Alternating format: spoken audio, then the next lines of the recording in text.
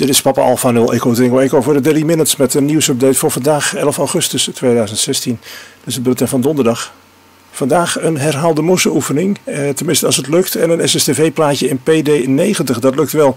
Opnieuw een eenband CW-zendontvangertje. Dit keer een uiterst basic apparaat, de MFJ Cup. Ook wel MFJ 93XX genoemd, waarbij XX staat voor de band dus 9317 in dit geval. In bouwpakketvorm kost hij een stuk onder de 100 dollar en gebouwd heb ik hem gezien voor 128 dollar. Geen luxe, niet eens een RIT, maar wel een erg fijne enkel superontvanger en full break-in.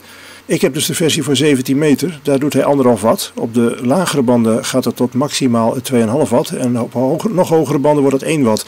In tegenstelling tot andere vergelijkbare apparaten zit er wel een fatsoenlijke audioversterker in, die meer dan alleen een koptelefoon aan kan sturen. Ik gebruik hem zelf met een klein Piker speakertje. Erg leuk dingetje. Ja, ik moet eens even kijken hoe lang de uitzending vandaag wordt, want er is een hoop en ik heb weinig tijd. Meerdere mensen, meerdere mensen hebben me een ISS-fragment toegestuurd. Iedereen hartstikke bedankt daarvoor. De signaalsterkte viel veel mensen nogal tegen. Kennelijk gaat het toch minder goed als hij recht over je hoofd overkomt. Dit is zoals PA3 Delta Papa het signaal gisteren binnenkreeg.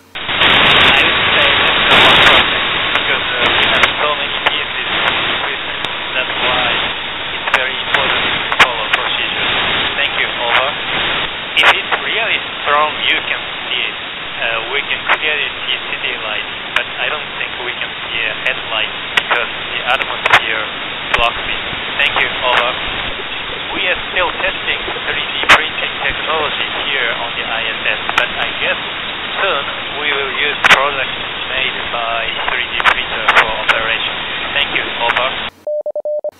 Ja, en dan het AD-artikel. De schrijver van het artikel was in eerste instantie bijzonder aardig nadat ik uh, met hem uh, getweet had, getwitterd had. Hij zei dat uh, hij het nooit opnieuw zou doen. Dit nadat ik had verteld over de tradities van onze hobby, hoe lang wij al legaal zijn, over onze satellieten, het contact met het ISS en dat we diverse uitvindingen hebben gedaan. Verder de rol in de oorlog en bij de watersnoodramp.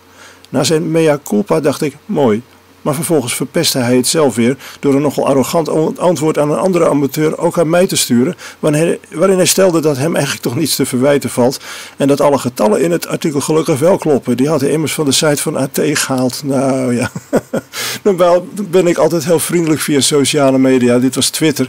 Nu kon ik niet anders dan hier even flink tegen in te gaan.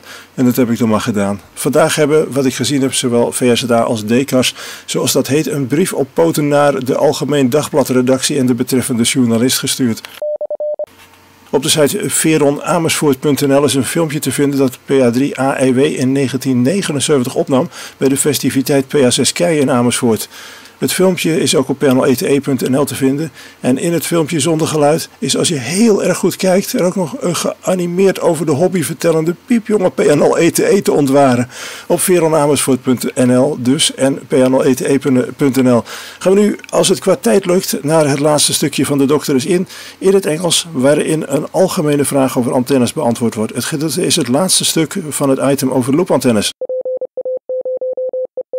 All right, Joel, it's question time. We have one here from David, Nancy 8 kilowatt Queen Sierra. And he asks I put up a new five band vertical antenna on the roof of a four story building. Lucky David. It is mounted on an 8 foot pipe that is clamped on the framework of a slanted metal roof section. We have the antenna three feet from the framework. We are not sure of what our results will be until we finish the cable runs. Is the long pipe on the framework something we should have avoided? Uh, buyer's remorse, potentially, or not?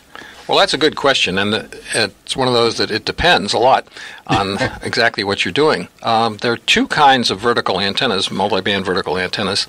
One is the type that has been around for a long time called a, uh, a quarter wave, electrical quarter wave antenna, mm-hmm. and that has to be fed against a ground system. The uh, ground system can be on the ground, can be buried, or on the ground radials that can be, they don't have to be a particular length, but the more the merrier, and, and uh, so forth. Or they can be resonant radials that act like the other half of the antenna on each band. Now, if it's a five band antenna and you want uh, at least two per band, and four is better, that uh, works out to about 10 to 20 radials. They should be resonant just as if you were building an antenna, so the ends are insulated and so forth.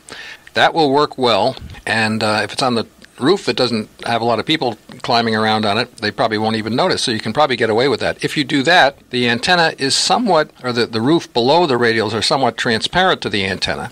Mm-hmm. And the fields will be between the monopole and the radials, and it will radiate very nicely. The uh, electrical half wave antenna, on the other hand, has the other half of the antenna built into it, and it typically has a number of uh, counterpoise rods that are just below the antenna Mm-hmm. And that too will work um, in your situation because the fields will be within the antenna, like from the top of the antenna to the bottom of the antenna, and some to the uh, counterpoise rods. It will not be affected particularly by the ground underneath it. So that's, um, or the ground of your roof. Now, the other possibility is to try to do, let's say, that quarter wave antenna using the roof the metal roof as the ground system. And that is possible, but there are a couple things about it. One is you need to connect the shield of your coax right below the feed point at the antenna. So that the antenna sits on the roof and the connection has to be between the antenna and the roof just below that point to make it work properly. So that's mm-hmm. the center of the ground as far as the antenna is concerned. Yes. And that can be tricky because many roofs uh, do not work well as roofs if you drill holes through them.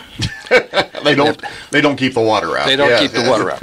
The other thing is that the person who designed the roof and built it long before you got there probably uh, was not particularly interested in developing a, a good RF uh, ground or counterpoise system. He was trying to keep the water out. And as a consequence, it probably isn't a single large piece of metal. It is probably strips of metal with seams. The devil, you say? yes, indeed. and unless the person had the foresight, if it were a copper roof or something, to, to actually solder the seams. Highly unlikely. The seams could be um, filled with tar to keep the water out, but that will not give you a full size metal ground structure to hook to. It, it looks like one, but it electrically, like no. That's and right. it may be worse than that. It may be intermittent. The electrical connections oh. may come and go depending on stresses on the roof or temperature Lovely. changes. So things may be changing all the time. It's a little tricky kind of thing. Now, that quarter wave antenna could work if it were put on the fender of a car. Might not get under bridges, but people use mobile antennas all the time with um, sort of uncertain metal structures underneath them, being cars. Yes. And um, they work. And uh, if you have a big enough piece of metal there, it will work like a panel of a body panel of a car. But it may not work as well as it would if it were all one large roof. And particularly since you don't know exactly what's there, probably, it may be very difficult to figure it out. So I guess my recommendation is do one of the things that, that will isolate you from the roof itself. It won't, the roof being there won't hurt you as long as you aren't depending on its electrical qualities to be part of the antenna, which yes. you would do if you were trying to feed it against uh, the roof as the ground system. So I think that covers it pretty well. Uh, the the other thing about it is if you try to do that and you feed the antenna at the top of your eight foot pole and, and use the pole as the ground, what happens is the, the pole actually ends up as part of the antenna. So all That's of a right, sudden yeah. the antenna is eight feet longer than the designer thought it would be. It's sort of acting like an off center fed semi dipole, if you will. and it probably won't be tuned properly. It'll be um, not resonant, particularly on the higher frequency bands when, where that dimension becomes a large fraction of a wavelength. Mm-hmm.